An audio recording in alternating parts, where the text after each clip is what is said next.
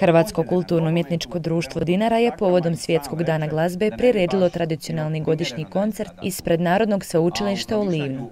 Nastupile su dvije sekcije koje djeluju pri Hrvatskom kulturno-umjetničkom društvu Dinara, Gradska limena glazba i Gradski harmonikaški orkestar.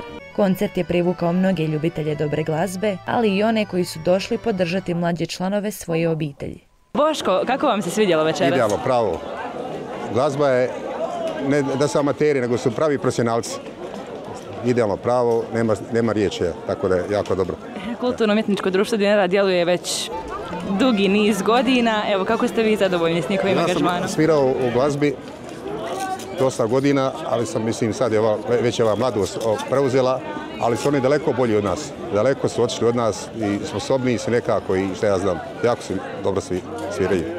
E, neke su predrasude ovako kada izvode e, orkestri, da, su to, da je to uglavnom klasična glazba, ali nije. Vidimo danas da je ovdje tu i svjetovna ovo sobrada i mnogo poznatijih pjesama. Pa Ovo su, ovo su maltene profesionalci, nisu amateri. Amateri nego su baš pro- profesionalci. Pravo sviraju. Znači doćete opet sigurno. Svaki put ja dolazim i, i pratim i gledam ih. Ja. Uskoro će krenuti i Livanjsko kulturno ljeto. Hoćete doći i tada? Obavezno. Unu- unuka, mi onaj, svira tu, tako da moram ja. Meni je super, oduševilo me. I sad livno imaš, će imaš šta se faliti.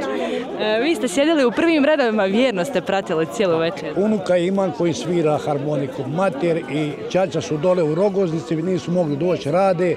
Rekli se, dedo, otiđite i gledajte. Hoćemo, i ovo mi je prvi puta da sam ja bio na ovakvom nešto.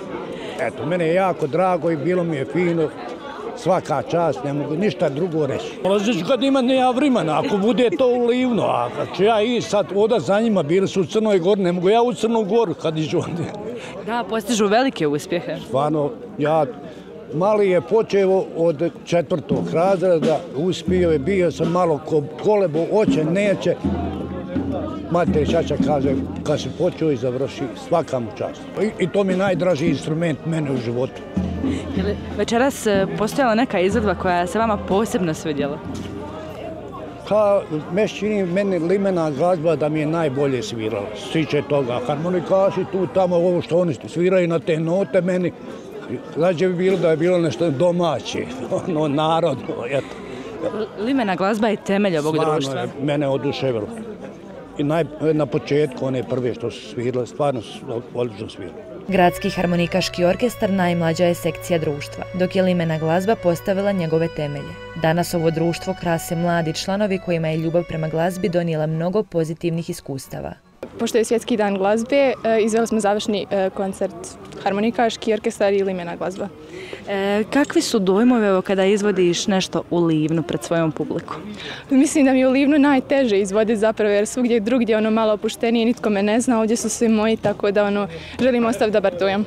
Je, što mislite, jeste li e, ostavili dobar utisak? Vidimo večeras bilo je dosta posjetitelja u parku. Pa bilo je dosta koliko sam ja mislila da će biti. Mislila sam da će biti puno manje, ali stvarno ih je dosta bilo, tako da nadam se da smo ostavili dobar dojam. I što ti sviraš? Klavir. Koliko dugo i zašto?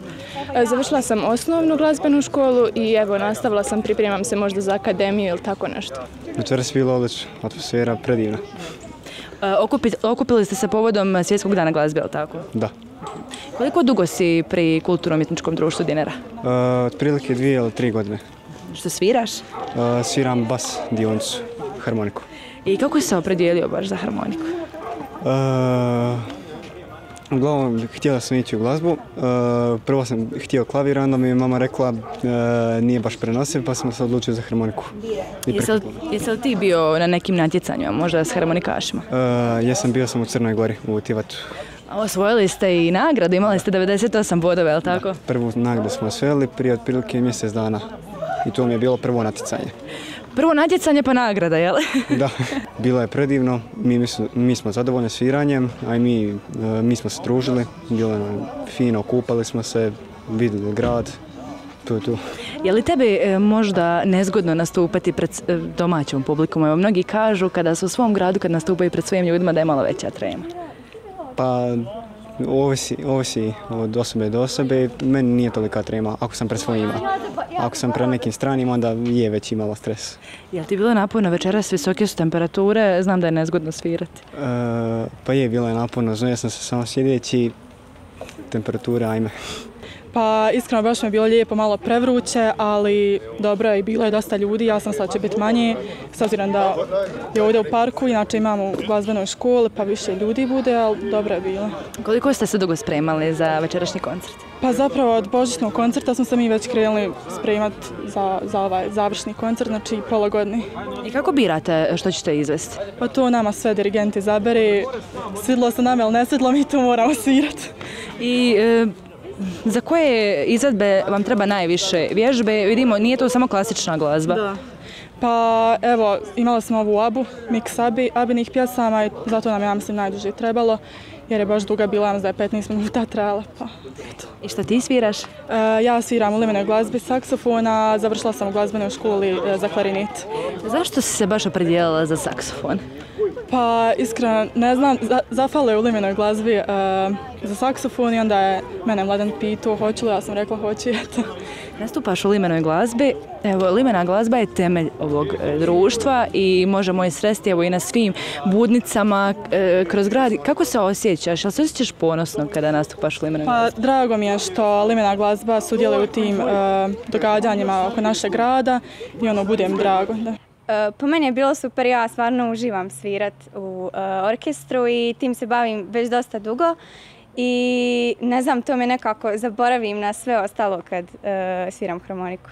To mi je baš nekako neki odušak. Koliko dugo već sviraš harmoniku?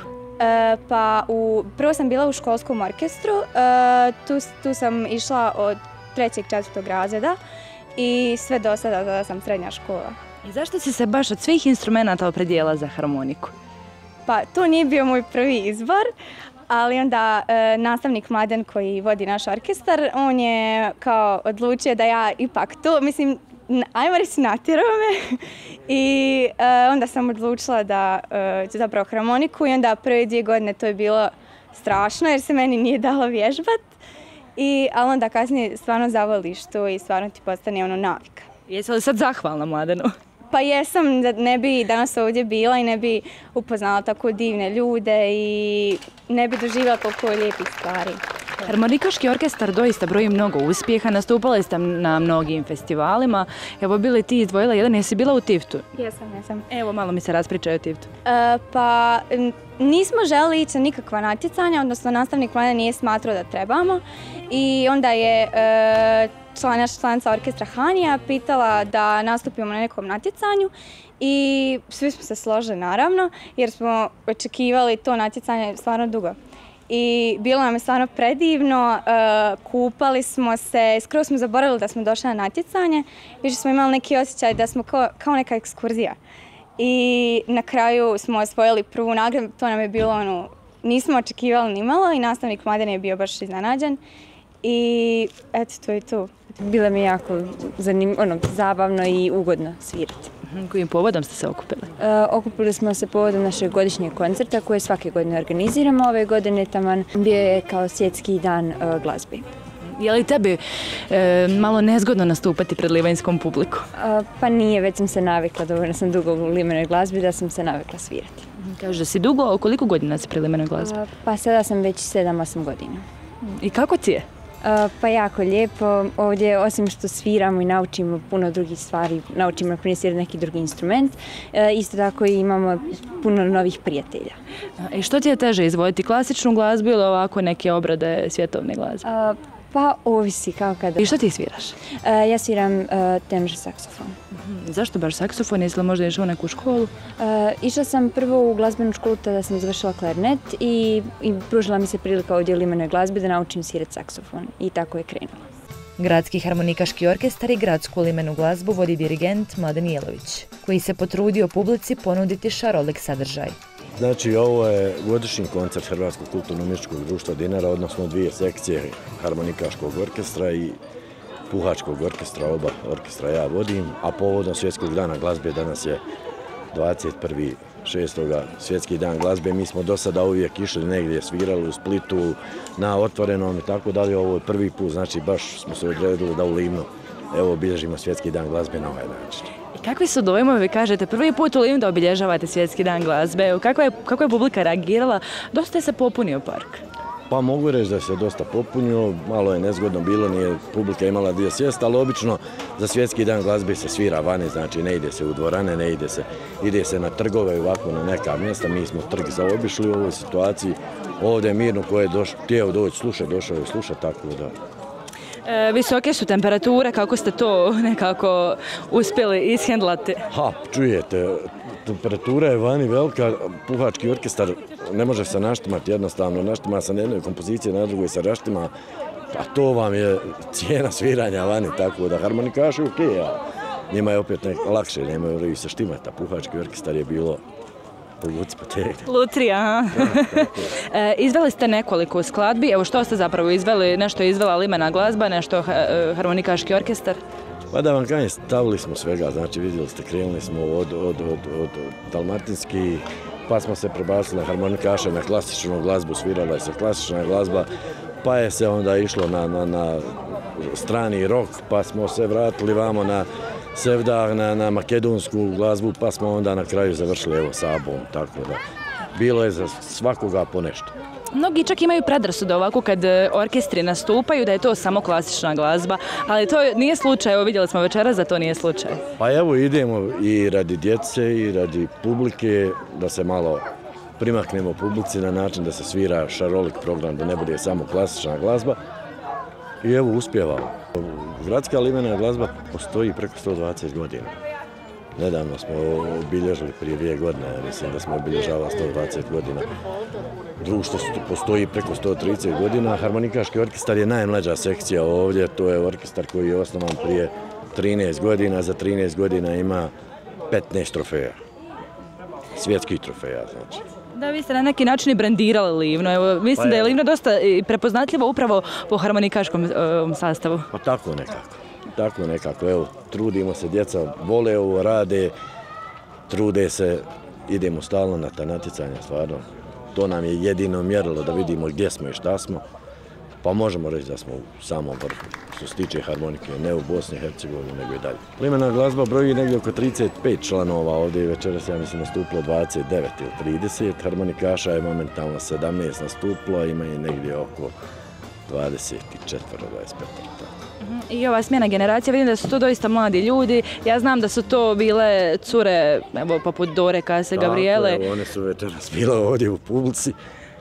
A čujete, smjena generacije dolazi, oni već govore da bi se htjele vratiti nazad, na kraju krajeva to je generacija zbog koje je osnovan taj gradski harmonikaški orkestar i koji su stvarno osvojili sve moguće trofeje. Ovo je prvi put da ide neka nova garnitura. Evo, pokazali su i oni da su jako dobri. Gradski harmonikaški orkestar osvojio je prvu nagradu na 14. međunarodnom festivalu u Crnoj Gori, a od strane stručnog žirija ocjenjen je s visokih 98 od mogućih 100 bodova. Pa evo, harmonikaški orkestar išao je u na međunarodno natjecanje harmonike. Otišli smo, evo, da čisto da djeca malo odu, od korone se nije išlo na natjecanja.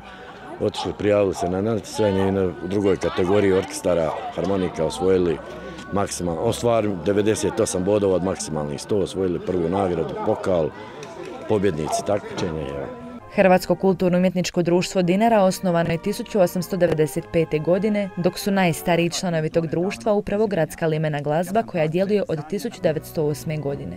Ovo društvo okuplja glazbu, pjesmu i glumu na jednom mjestu, a čine ga umjetnici amateri organizirani u sekcije.